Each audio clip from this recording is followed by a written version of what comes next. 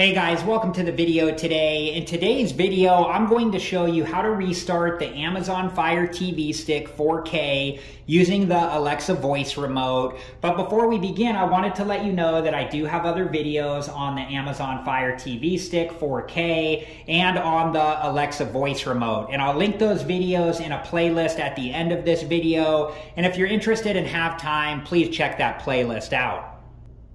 And this outer circle ring is the navigation button. You can press up, left, down, or right. And then the circle button in the middle of the navigation button is the select button.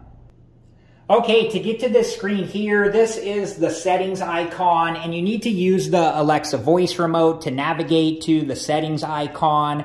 And this outer circle ring is the navigation button and you can press up, left, down, or right on the navigation button. And then the circle button in the middle of the navigation button is the select button.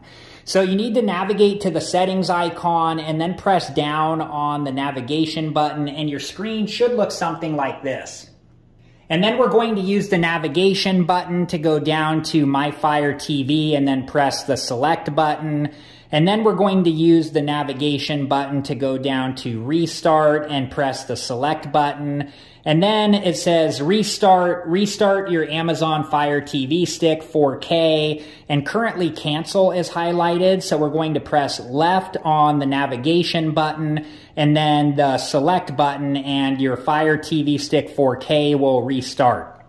All right, guys, that's just about it for this video, and I hope that it was helpful, and thank you so much for watching. And like I said earlier, I do have other videos on the Amazon Fire TV Stick 4K and on the Alexa voice remote, and I'll link those videos in a playlist at the end of this video, and if you're interested and have time, please check that playlist out. Thank you guys again so much for watching. Please like, subscribe, and comment, and I hope to see you guys in the next video. Have a good one. Thank you guys for watching. Please like, subscribe, and comment. And if you have the time, check out these other great videos.